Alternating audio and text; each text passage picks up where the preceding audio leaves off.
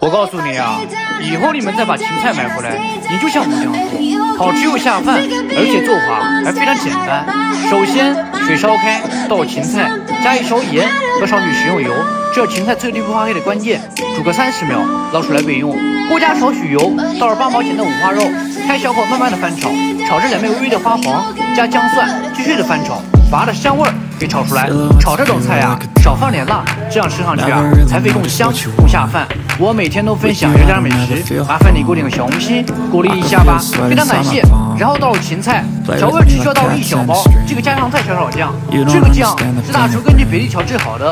它可以炒很多种家常小炒菜，不管是炒肉丝、炒牛肉还是炒猪肝，都非常的好吃入味。一袋子里面是两小包，一小包就可以炒一份，其他的任何调料你都不要放了。将它快速的翻炒两分钟就可以出锅，是不是很简单？你也赶紧收藏，做起来吧！